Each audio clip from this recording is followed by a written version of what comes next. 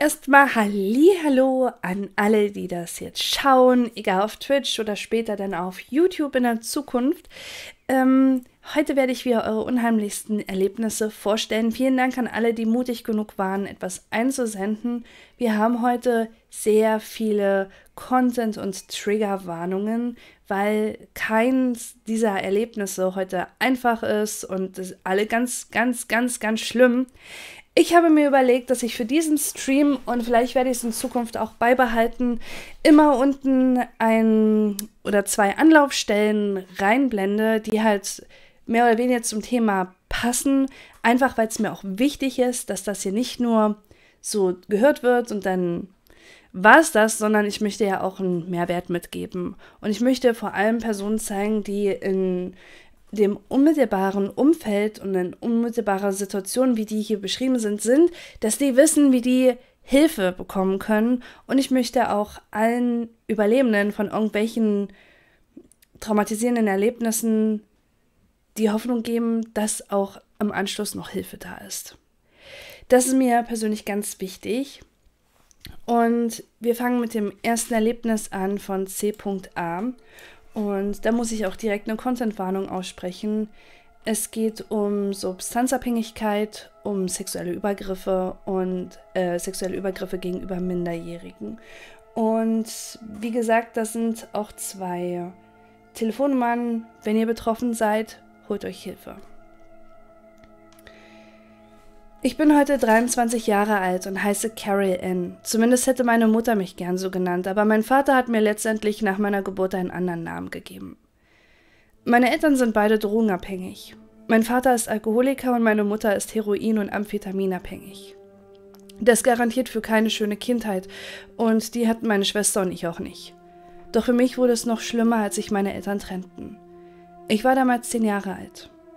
Meine Schwester kam erstmal zu meinem Vater. Erst nach einem Jahr habe ich sie wieder gesehen, weil meine Mutter mich nicht mehr haben wollte und ich auch so zu meinem Vater musste. In dem Mehrfamilienhaus, in dem wir lebten, gab es auch einen jungen Mann, in den sich meine Schwester verliebt hatte. Nach einiger Zeit kamen sie zusammen und er wurde ein guter Freund meines Vaters. Ich nenne ihn Freund meiner Schwester hier Hendrik. Er war jetzt jeden Tag bei uns und redete viel mit mir. Ich muss sagen, ich schäme mich sehr dafür, was ab da an passiert ist. Ich war einsam, hatte nie wirklich in der Schule oder bei meiner Familie Anschluss gefunden. Auch habe ich mich oft mit meiner Schwester gestritten. Also kam es so, dass Hendrik mein Halt war. Er war damals 21 Jahre alt und er gefiel mir auch. Zur Erinnerung, ich war damals zehn Jahre jünger als er. Immer wenn meine Schwester aus dem Zimmer ging, küsste er mich und sagte, dass er mich mehr lieben würde als meine Schwester und dass ich so toll wäre, ich aber niemandem was sagen dürfe. Heute weiß ich, dass er ein pädophiles Schwein ist und mich manipuliert hat, aber damals dachte ich, dass ich ihm wichtig wäre und dass er nett sei. Nach kurzer Zeit wollte mich aber meine Mutter wiederhaben und ich wohnte bei ihr, bis ich zwölfeinhalb Jahre war. Dann kam ich gestörter und verletzlicher wieder zu meinem Vater, der inzwischen neu geheiratet und ein Haus gemietet hatte. In diesem hatte auch Hendrik ein Zimmer, weil er arbeitslos geworden war und seine Miete nicht mehr bezahlen konnte. Ich bekam mein Kinderzimmer genau gegenüber seinem Zimmer im ersten Obergeschoss. Meine Schwester hatte ihr Zimmer im Erdgeschoss und sie hatte auch einen neuen Freund. Nachts schlich sich Hendrik zu mir ins Bett und befummelte mich. Einmal sagte er zu mir, er liebe, Zitat, kleine Teenie-Tittchen. Ich hatte nicht mal einen Ansatz von Busen. In dem Moment, in dem ich 13 wurde, wollte Hendrik mit mir im Garten zelten. Mein Vater wollte, dass mein Stiefbruder mit mir im Zelt schläft. Er meinte eine Zeit lang danach, das hätte er getan, um mich zu schützen. Er wusste schon damals, was Hendrik von mir wollte. In dieser Nacht hat Hendrik mich neben meinem Stiefbruder vergewaltigt. Er sagte immer wieder, dass ich nicht schreien dürfte, sonst hätte ich niemanden mehr, der mich liebt. Nachdem es vorbei war, ging ich ins Haus und stellte Sachen in meinem Zimmer vor die Tür und ging schlafen. Die nächsten Tage hat mich Hendrik ignoriert und sagte mir einmal, dass ich dran schuld bin. Er hätte mich nicht lieben dürfen wenn ich was sage, dann sehen wir uns nie wieder und sein Leben wäre dann kaputt. Circa vier Tage später sagte ich meiner Schwester, was passiert war. Sie sagte es meinem Vater und er war wütend auf mich, während ich immer nur, warum ich immer nur Ärger mache. Jetzt muss das Jugendamt gemeldet werden und wir müssten zur Polizei. Ich musste eine Aussage machen, wobei der Polizist sehr gleichgültig mir gegenüber war. Ich musste auch das erste Mal zum Frauenarzt. Dort hat man mir die Verletzung erklärt, obwohl ich das nicht hören wollte. Hendrik hat letztendlich Therapie statt Strafe bekommen und ich einen Schaden für mein ganzes Leben. Ich kann heute immer noch nicht zum Frauenarzt gehen. Ich habe solche Angst, mich auf den Stuhl zu setzen. Ich bin dadurch und auch noch durch die vielen anderen Sachen von PTBS, also posttraumatischer Belastungsstörung und Depressionen sowie Angststörungen betroffen. Ich kann mein Leben ohne Betreuung nicht führen und bin arbeitsunfähig. Zum Glück habe ich keinen Kontakt mehr zu meinen Eltern und lebe dadurch etwas besser. Wenn euch sowas ansatzweise widerfährt, holt euch bitte Hilfe. Ihr seid nicht daran schuld. Das stimmt, ihr seid nicht daran schuld. Das ist eine super ekelhafte Masche von Tätern und auch vom Umfeld, das keine Verantwortung übernehmen möchte oder das immer noch so veraltete Bilder hat von wegen, was hast du dann angehabt, hast du ihm etwa falsche Signale gesendet und so weiter. Das ist ekelhaftes Victim Blaming, das ist absolut frauenfeindlich und es ist nicht eure Schuld. Es ist aber schwer, in so einem Moment für sich selbst einzustehen, wenn man sowieso schon gebrochen ist und wie hier die Person komplett alleine gelassen wurde von allem und gar keinen anderen festen Halt hatte. Das passiert leider öfter, als man sich vorstellen will. Und deswegen habe ich jetzt auch hier nochmal Hilfenummern eingeblendet. Ähm, und ich muss dazu sagen, ihr könnt euch auch jederzeit an den weißen Ring wenden. Also die helfen euch zum Beispiel auch, wenn ihr ähm, die helfen euch zum Beispiel auch finanziell, wenn ihr umziehen müsst, weil ihr zu nah am Täter wohnt. Die helfen euch beim Gerichtskosten, die helfen euch Anzeigen zu erstellen, die helfen euch bei ärztlicher Untersuchung und ähm, die führen so psychologische Erstgespräche mit euch. Die helfen euch, dass ihr eine Traumabar, also Traumatherapie bekommt und und und. Der weiße Ring ist extra dafür da. Also es ist halt nur super schwer, den ersten Schritt zu machen und sich Hilfe zu holen. Und ihr seht ja, dass so etwas ein Leben komplett zerstören kann, was super schrecklich ist. Ähm, Carrie Ann, ich wünsche dir auf jeden Fall alles Gute und ich hoffe, dass du eines Tages halbwegs Normalität wieder in dein Leben kriegst. Es ist einfach furchtbar schrecklich, was dir passiert ist. Das nächste Erlebnis ist von A.S. und ich habe euch, ähm, ja, wie gesagt, gewarnt am Anfang. Es wird heute richtig schlimm. Vielen Dank, dass du das mit uns teilst. Contentwarnung, sexualisierte Gewalt, Körperverletzung, Stalking und Gewalt gegen Schwangere.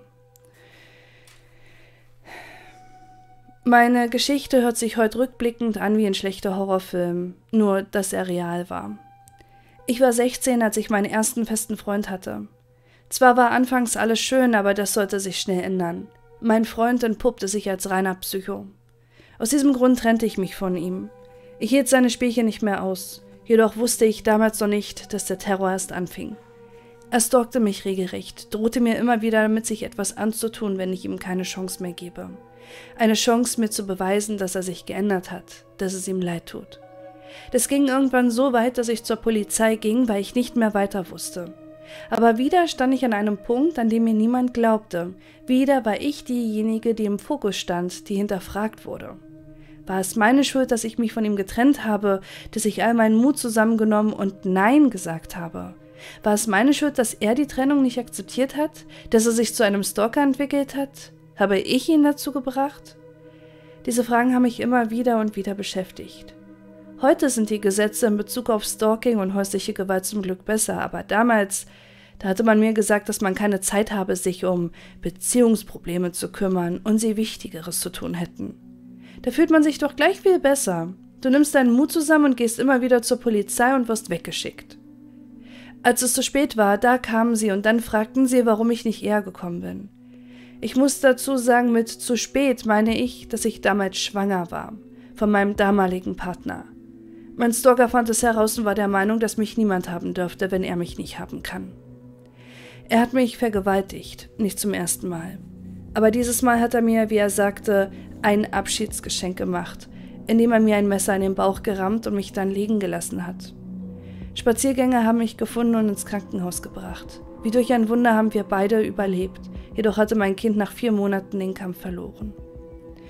War er als Strafe, was er als Strafe bekam, Sozialstunden. und ein Kontaktverbot. Er war doch unzurechnungsfähig. Na klar, schwere Kindheit und so. Ich bin dann weggezogen und habe mir ein neues Leben aufgebaut. Meine Familie wohnt heute noch in dem kleinen Ort und auch heute bekomme ich Gänsehaut, wenn ich sie besuche. Ich hatte Glück im Unglück und bin ihm entkommen. Ich weiß nicht, wie viele Frauen ihm noch zum Opfer fielen. Aber eins habe ich gelernt, ich werde nicht mehr schweigen. Auch wenn mich die Polizei erst viel zu spät ernst genommen hat, so habe ich mir meinen Weg zurück ins Leben erkämpft. Und ich will allen Frauen da draußen sagen, es ist nicht eure Schuld, ihr könnt nichts dafür. Diese Männer haben versucht, uns kaputt zu machen, aber wir sind stärker. Unsere inneren Dämonen werden immer, werden wir immer bei uns tragen. Die Namen auf unserem Körper und unserer Seele sind ein Teil von uns. Aber sie zeigen uns auch, dass sie all jene, die uns gequält, gefoltert, gejagt haben, überlebt haben. Dass sie uns nicht gebrochen haben. Vergesst das niemals. Ihr seid es wert, dass man euch gut behandelt, dass ihr ernst genommen werdet, dass ihr es schaffen könnt, euch aus diesen Fängen zu befreien. Das sind wirklich richtig, richtig starke Worte. Ähm, vielen Dank dafür. Das ist wirklich schrecklich, was dir passiert ist. Also, jeden dritten Tag gelingt es einem Mann in Deutschland, seine Partnerin oder Ex-Partnerin zu töten. Jeden Tag in Deutschland versucht ein Mann, seine Partnerin zu töten. Es passiert jeden Tag. Und das hat nichts mit Religion oder mit der Herkunft zu tun, sondern es hat etwas mit dem Denken zu tun der Männer, dass sie sich über die Entscheidung einer Frau stellen können, dass sie vermeintlich äh, höher stehen, dass sie vermeintlich einen Anspruch auf eine Frau haben, dass das Nein einer Frau nicht so sehr zählt wie der Wunsch eines Mannes, doch mit der Frau zusammen zu sein. Wenn ein Mann das Nein einer Frau nicht akzeptiert, dann wird das wirklich problematisch. Ja, und ich glaube, sehr viele Frauen von uns haben so etwas schon erlebt. Zum Beispiel, wenn man die Nummer nicht rausrücken will, dann hm, versuchst du einfach, du lernst mich doch erstmal kennen. So fängt es ja schon an. Da wird ja schon das Nein nicht akzeptiert.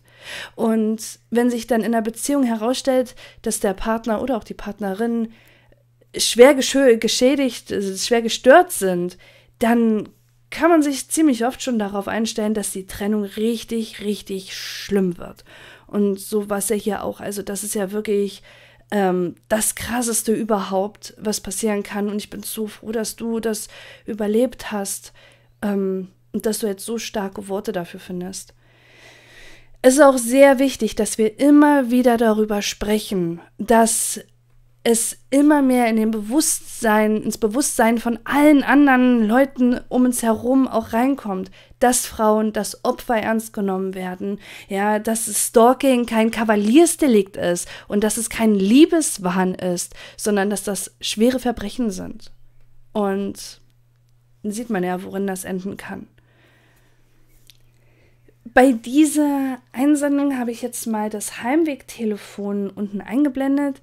Es gibt immer mal wieder verschiedene Angebote von so Nachhausetelefon, Heimwegtelefon und so weiter, die dann immer mal existieren oder nicht mehr existieren. Leider habe ich da keinen Überblick, aber soweit ich weiß, existiert das noch und da steht ja auch von wann bis wann ähm, die erreichbar sind. Speichert euch die Nummer sehr gerne ein.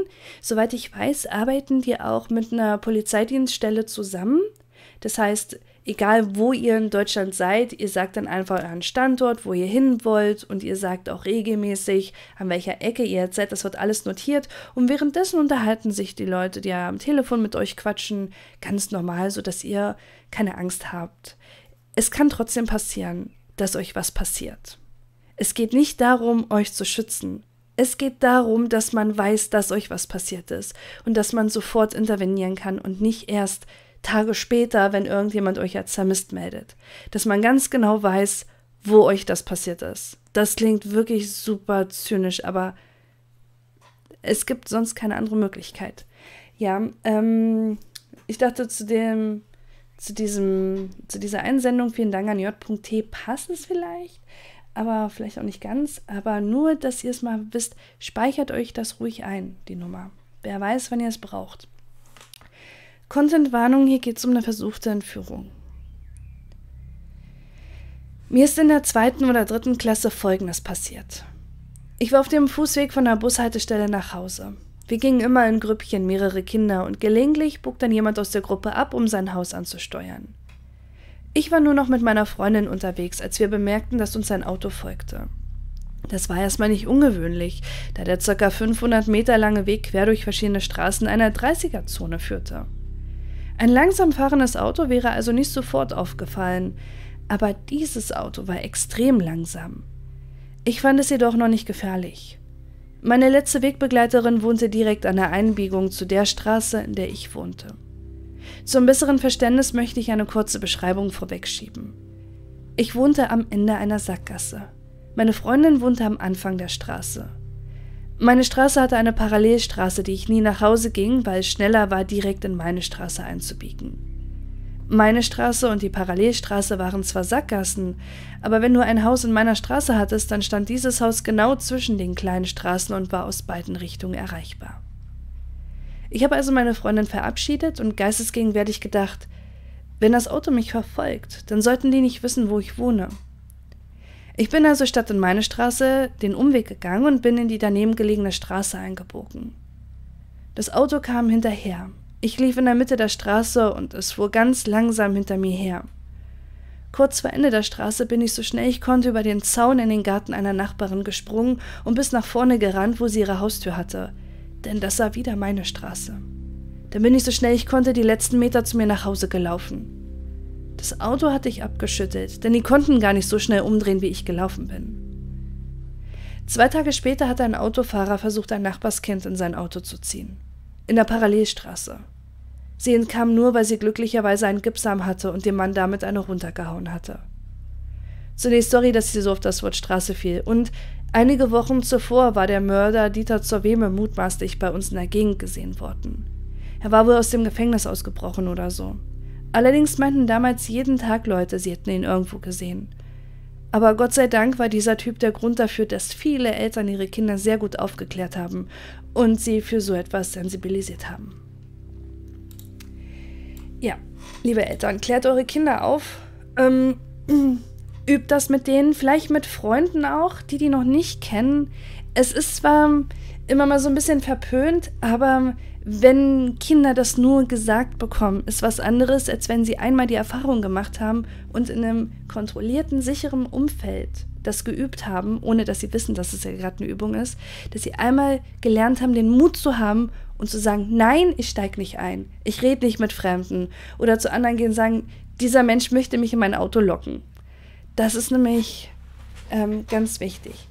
Vielen Dank dafür. Ich bin sehr froh, dass das gut ausgegangen ist für dich und auch für das andere Kind. Ähm, ganz, ganz, ganz gruselig. Also ich glaube, das ist auch die Angst von allen Eltern, dass irgendjemand kommt und das Kind auf dem Nachhauseweg wegschnappt. Gerade wenn man nicht dabei ist und das Kind schon so selbstständig ist, dass man es in die Welt rauslassen kann und da draußen lauert dann so eine Gefahr. Ja, es gibt auf YouTube ähm, so ein, also Beitrag von einem Typen, der war früher Polizist und der klärt heute Familien auf und hilft das an Schulen und hilft auch privat, Kinder dafür zu sensibilisieren. Ich weiß nicht mehr, wie der heißt, vielleicht weiß das jemand von euch und kann das mir auch nochmal so schreiben. Ähm, da geht er zu, oder spricht das mit den Eltern ab, dass die mit denen auf den Spielplatz gehen und die Eltern lassen die Kinder in Ruhe spielen und der Mann sagt, er schafft es immer, ein Kind mitzunehmen vom Spielplatz. Also nur zur Übung für die Kinder, dass sie wissen, die dürfen nicht mitgehen. Die wissen nicht, dass das eine Übung ist.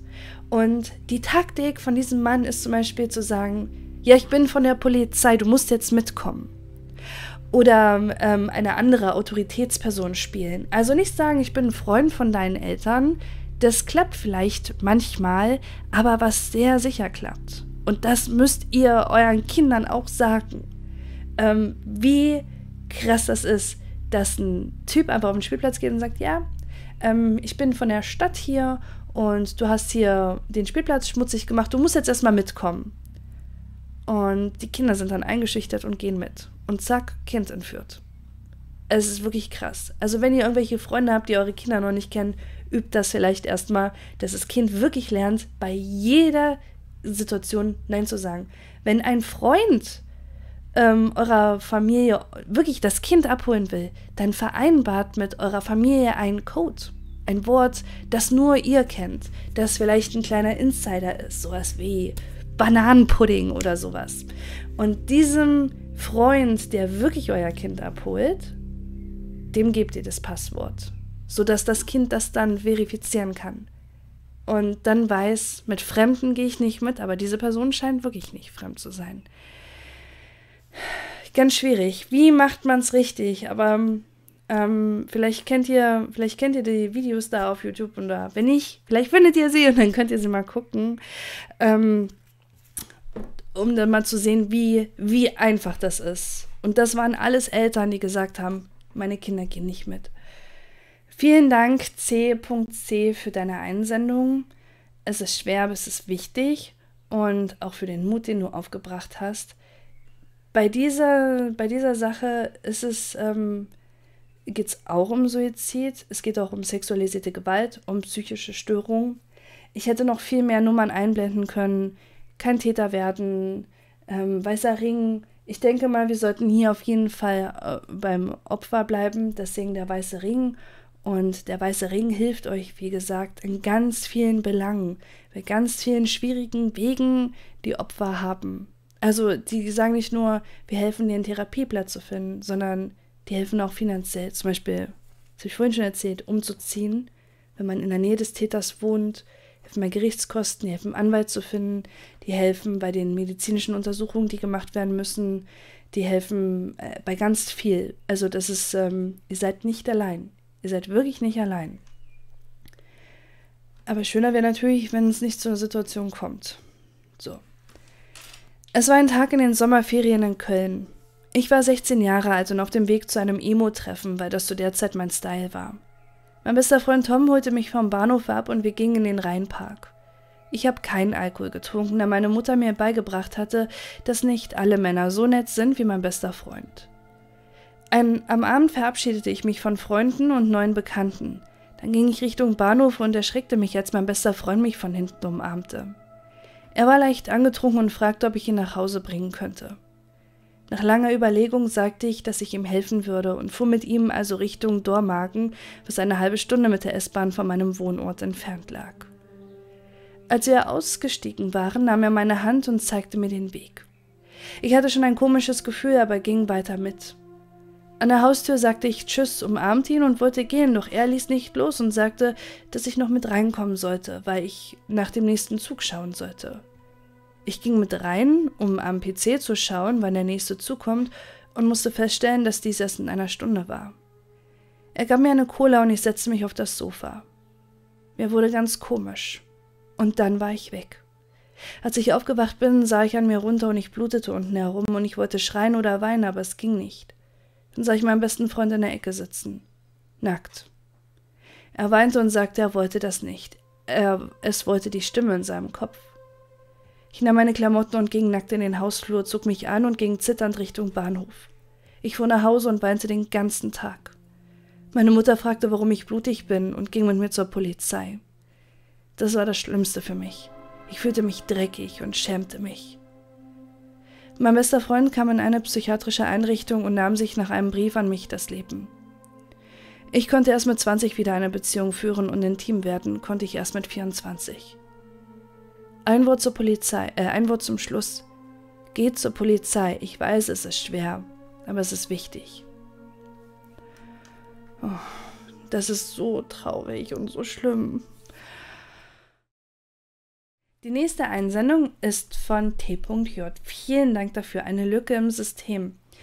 Es ist eine extrem außergewöhnliche und total berührende und auch verstörende Einsendung ähm, das, was du erlebt hast, das kenne ich sonst nur aus Crime Time. Ich habe im näheren Umfeld eine Mutter, die ähnliches macht, aber mit ihrem Kind. Das ist ja Münchhausen-Stellvertreter-Syndrom. Hier geht es ums Münchhausen-Syndrom. Ich habe mal die Nummer der Telefonseelsorge eingeblendet. Für, weil ich glaube gar nicht weiß, was für eine Anlaufstelle man bei so sowas oder sowas ähnlichem anlaufen sollte. Also, wie der Titel sagt, eine Lücke im System. es gibt nicht wirklich sonst irgendwas, wie man das machen kann. Das ist halt aber auf jeden Fall richtig, richtig toll, dass du das mit uns teilst, dass man mal das auch thematisieren kann. Contentwarnung, es geht um Suizidalität und um psychische Störungen. Kennt ihr dieses Gefühl der kompletten Hilflosigkeit? Dass egal was ihr tut oder macht, es keinerlei Auswirkungen hat. Selbst verzweifeltes Schreien, Betteln und Weinen ändert einfach nichts. Komplette Machtlosigkeit. Das ist das unheimlichste Gefühl, was ich jemals hatte. Und deshalb hoffe ich, dass es für dein Format geeignet ist, liebe Kathi. Ich hatte dieses Gefühl, als ich um das Leben meiner Mutter kämpfte. Sie hatte keinen Herzinfarkt oder Krebs oder dergleichen. Nein, sie war psychisch krank. Aber es waren auch keine Depressionen oder reine Suizidwünsche. Es war so viel komplexer und es haben so viele Leute zugesehen, wie sie in ihr Verderben gerannt ist. Was ist also passiert? Im Nachhinein betrachtet gab es sehr viele kleine Momente, die zeigten, dass etwas nicht stimmte. Einer der ersten Momente war vor meiner Geburt als meine Mutter plötzlich unter Rheuma litt. Das war kurz nachdem meine Oma väterlicherseits ebenfalls die Diagnose bekommen hatte. Meinem Vater kam das sehr merkwürdig vor, da sie zuvor nie über Schmerzen geklagt hatte, aber er nahm es einfach so hin und auch ich glaubte es sehr viele Jahre. Die angeblichen Diagnosen wurden erst nach meinem Auszug 2014 besorgniserregend. Sie hatte scheinbar unerklärliche Schmerzen und deshalb, auch aufgrund des Rheumas, dachte sie, sie hätte Fibromyalgie. Das ist eine chronische Schmerzerkrankung. Nicht mal ein Jahr später bekam sie plötzlich Krampfanfälle. Sie ging erst davon aus, es sei MS, also multiple Sklerose, eine Entzündung des Nervensystems. Nach einer Untersuchung im Krankenhaus in Hamburg wollte sie mit der Bahn abends nach Hause fahren. Die Bahn fiel allerdings aus und deshalb erlitt sie einen heftigen Krampfanfall und wurde wieder ins Krankenhaus gebracht. Aufgrund ihrer schlechten Verfassung hatte man sie vorläufig in einen Rollstuhl gesetzt. Welche Begründung es gab, warum sie dann aber mit Rollstuhl entlassen wurde, weiß keiner so genau. So wurde aus dieser vorübergehenden Lösung etwas Langfristiges. Das alles nur anderthalb Jahre nachdem ich ausgezogen war und sie als ziemlich fitte Frau zurückgelassen hatte. Es reifte eine weitere Diagnose, an der sie lange Zeit festhielt. Sie hätte Dystonie, eine neurologische Bewegungsstörung, die durch unwillkürliche Muskelbewegung gekennzeichnet ist. Ich fuhr mit ihr zu etlichen Ärzten, aber die meisten wiesen sie ab. Keiner wollte ihr diese Diagnose so richtig glauben. Einer der Gründe war, dass ihre Krampfanfälle gerade dann häufig anfingen, wenn man sie beim Lügen erwischte. Und sie log oft. Über ihre Krankengeschichte, über ihre Schulbildung, ihren Beruf und vieles mehr. Sie hatte sich eine eigene Realität erschaffen, in der sie scheinbar glaubte zu leben. Und in dieser Realität hatte sie Dystonie. Ende 2018 ungefähr kam die nächste schlechte Nachricht. Sie hätte irgendeinen Arzt überzeugen können, dass sie aufgrund ihrer starken Schmerzen Morphium bräuchte. Ab diesem Zeitpunkt, bis sie starb, bekam sie täglich hohe Dosen. Welcher Arzt das abgesegnet hat, ist unklar und es gab immer wieder Ärzte, die sich weigerten, ihr ein Rezept auszustellen. In der gleichen Zeit fingen die ersten Probleme mit dem Kauen und Essen an. Sie war überzeugt, sie bräuchte eine Magensonde. Es dauerte ewig, bis ein Arzt tatsächlich das Okay gab. Doch auch nach der OP gab es wieder Probleme, da es sich entzündete, sie die Sonnennahrung nicht vertrug oder die Tropfgeschwindigkeit zu hoch war. Dazu kamen dann irgendwann auch noch Probleme mit dem Toilettengang. Mitte 2019 saß sie nun fest im Rollstuhl, hatte eine Magensonde, einen festen Katheter und war stark schmerzmittelabhängig. Und in diesem Zeitraum, ich hatte gerade die 13. Klasse erreicht, ich bin sehr jung ausgezogen, kam ein Anruf. Sie müsse sterben, weil sie krank sei. Mir war zwar nicht klar, an welcher Krankheit es jetzt liegen sollte, aber natürlich war ich schockiert und glaubte ihr selbstverständlich. In dem Jahr verlor sie auch ihre Wohnung, da sie sich weigerte umzuziehen und zu wenig Miete zahlte. Die Vermieter klagten sie also raus. Ab da war sie wohnungslos und zog in die Einzimmerwohnung von ihrem Freund, der sie pflegte. Bei den Medikamenten, die sie bekam, hätte dies eigentlich eine professionelle Pflegekraft machen müssen, aber sie wollten Geld sparen und deshalb übernahm er es. Aufgrund ihrer tragischen Diagnose kam sie auf eine Palliativstation. Dort sollte unter anderem nochmal eine Behandlung für die Magensonde stattfinden. Als ich sie an einem Tag besuchte, war sie sehr sauer, denn die Ärzte würden mal wieder ihre Arbeit nicht richtig machen und sie nicht ernst nehmen. Aus diesem Grund bat sie mich, in der Visite bei ihr zu bleiben. Was der Oberarzt dort sagte, riss mir den Boden unter den Füßen weg.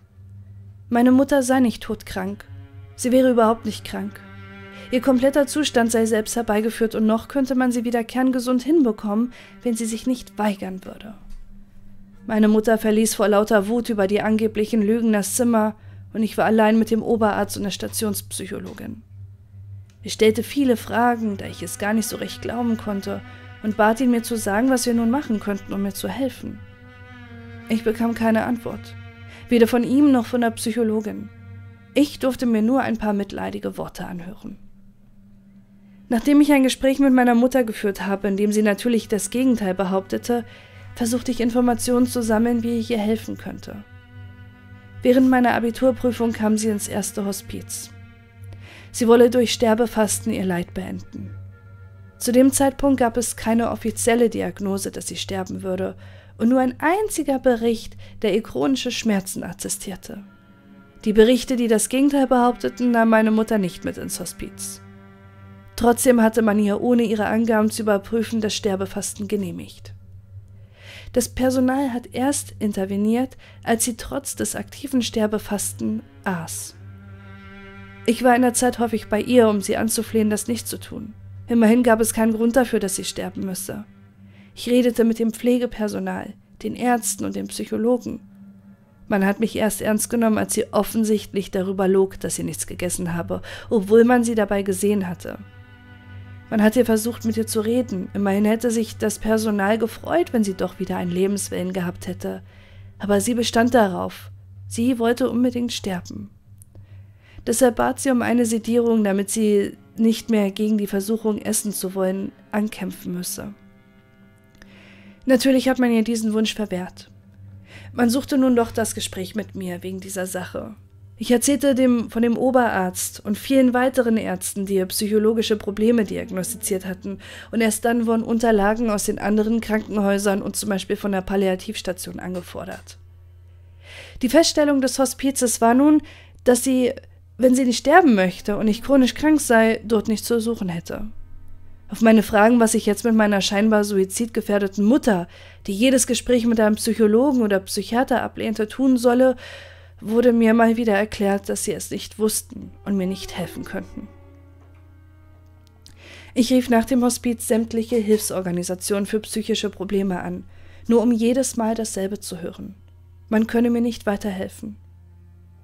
Ich beschloss, um das Wohl meiner Mutter eine Vormundschaft zu beantragen. Aber aufgrund der Corona-Krise schickten das zuständige Gericht keine Gutachter. Und meine bloßen Erzählungen und bisherigen Arztbriefe reichten nicht aus, damit der Fall ernst genommen wurde. Erst bei einem eindeutigen psychologischen Gutachten, was ihr die Selbstgefährdung attestiert, würde man tätig werden. Aber niemand wollte dieses Gutachten schreiben oder uns anderweitig helfen, obwohl meine Mutter nach wie vor sterben wollte und weiterhin massiven Raubbau an ihrem Körper betrieb. Ich konnte nur zugucken, denn selbst mein Bitten und Flehen, sowohl bei ihr als auch bei jeder anderen Stelle, half nicht. Es gab das letzte Hospiz, in dem man erst genau das gleiche passierte wie im, in dem erstmal genau das gleiche passierte wie im ersten. Doch ich schaffte es, die Leitung des Hospizes zu überzeugen, mir zu helfen. Man vereinbarte mit meiner Mutter, dass sie dort bleiben durfte, wenn sie für zwei Tage in eine psychiatrische Klinik geht. Die Psychologen vor Ort wollten kein Gutachten machen und sich begutachten lässt. Ich musste wahnsinnige Überzeugungsarbeit leisten, damit sie diese tatsächlich tat. Ich schaffte es, indem ich ihre, in, in, indem ich ihre Realität mitspielte und ihr erklärte, das Hospiz müsse sich absichern, da sie ja keine klare Diagnose hätte. Aber sie müsse ja schließlich nichts befürchten. Immerhin sieht man ja, dass sie krank wäre. Und es seien ja auch nur zwei Tage. Sie hatte gerade das erste Gespräch mit dem Psychologen vor Ort durch, als sie die Psychiatrie Hals über Kopf verließ. Niemand hielt sie auf, und es wurde kein Bericht über ihren Aufenthalt geschrieben. Das Hospiz nahm sie nicht wieder auf, aber sie konnte auch nicht mehr in die Wohnung von ihrem Freund, da ihm diese wegen Eigenbedarf gekündigt wurde.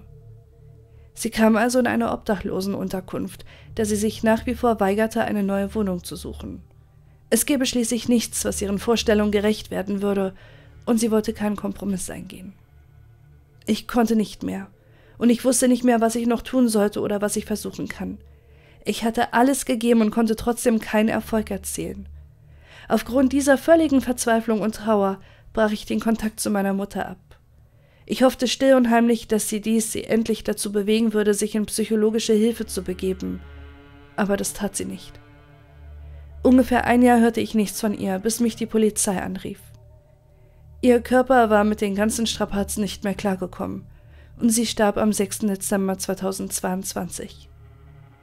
Durch viele Recherchen für die Gespräche mit den Einrichtungen und Krankenhäusern stieß ich auf eine Diagnose, die ihr Verhalten zu 100 Prozent beschreibt. Es war die Diagnose des Münchhausen-Syndrom.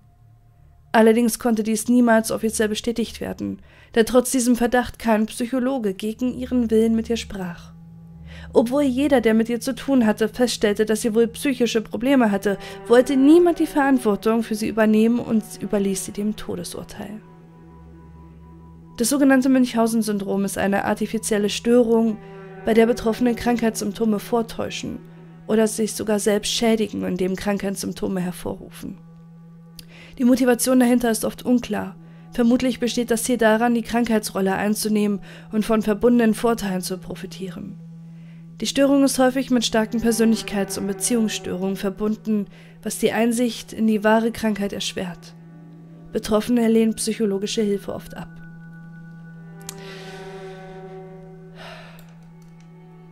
Also ich muss erstmal sagen, Respekt, das während des Abiturs zu machen, als junger Mensch gerade anfängt, das eigene Leben zu leben, so reif und erwachsen zu sein und sich so für die eigene Mutter einzusetzen.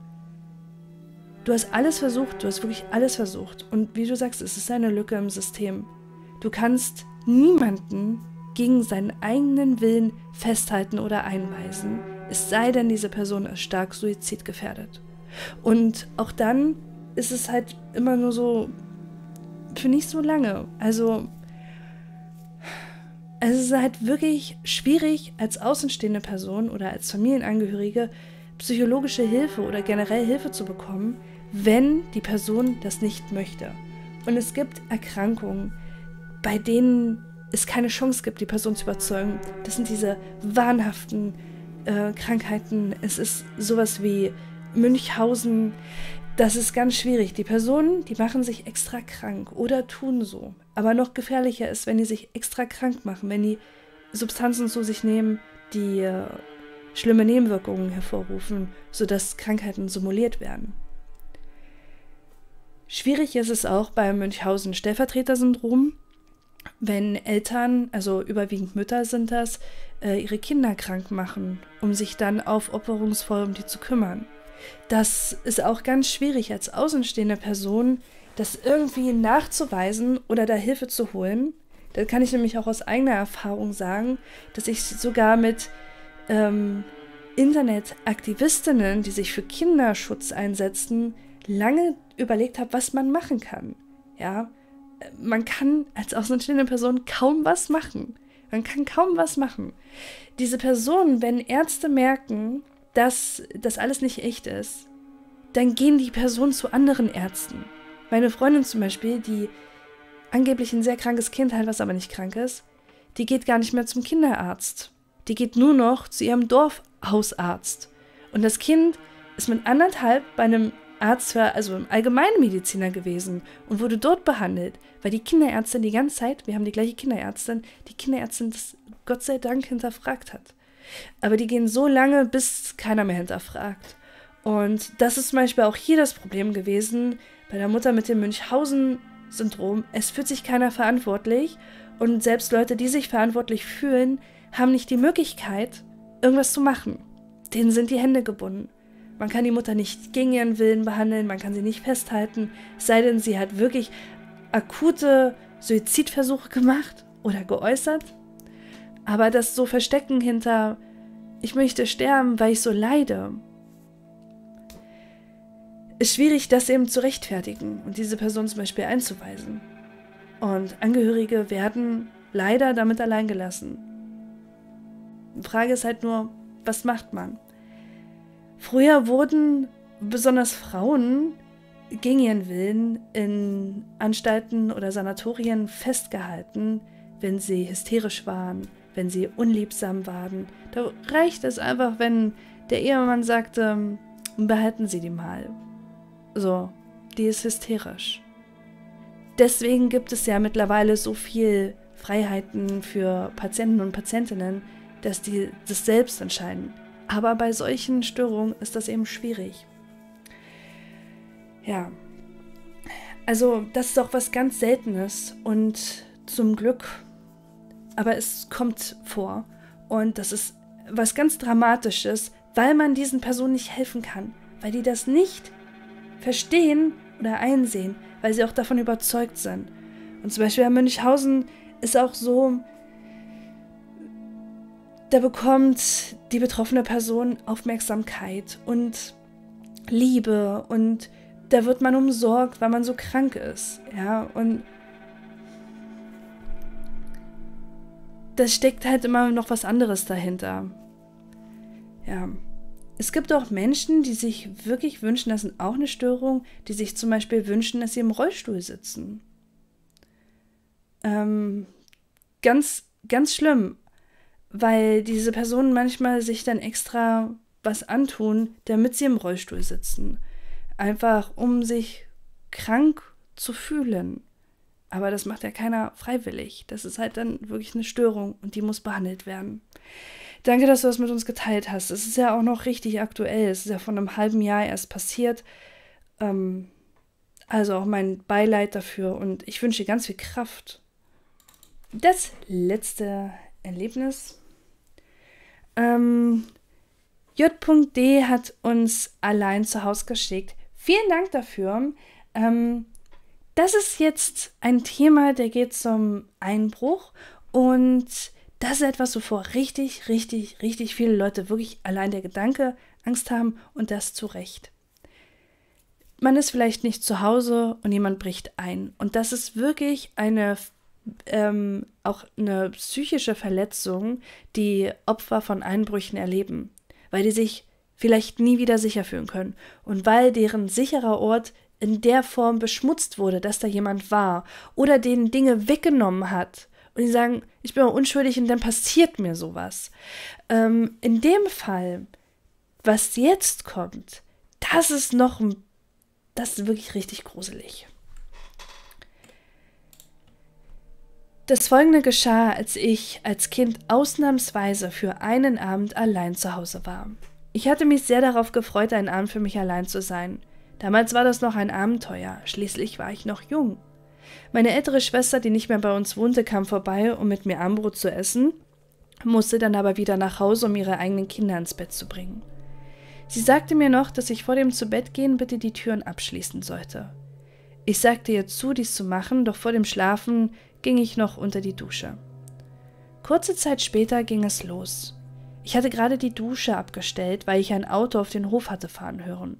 Ich trocknete mich ab, zog mich an und ging in das neben dem Bad liegende Schlafzimmer meines Vaters. Ich legte mich aufs Bett und nahm das Handy in die Hand. Auf einmal hörte ich, wie unsere Haustür aufging.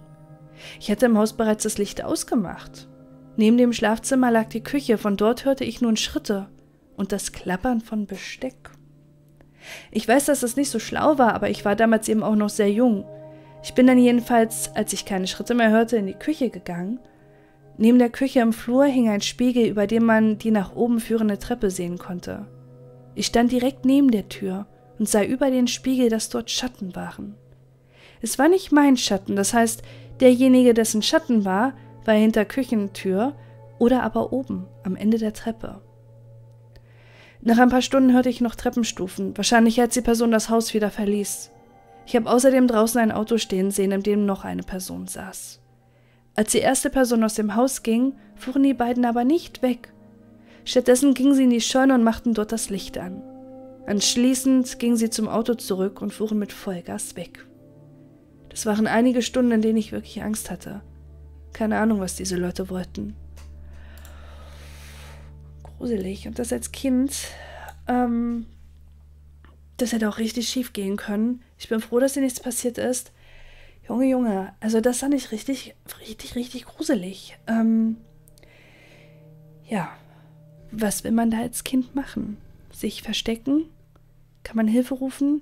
Heutzutage haben die Kinder ja Smartphones und können dann vielleicht was machen. Aber vor einigen Jahren gab es doch keine Smartphones für Kinder.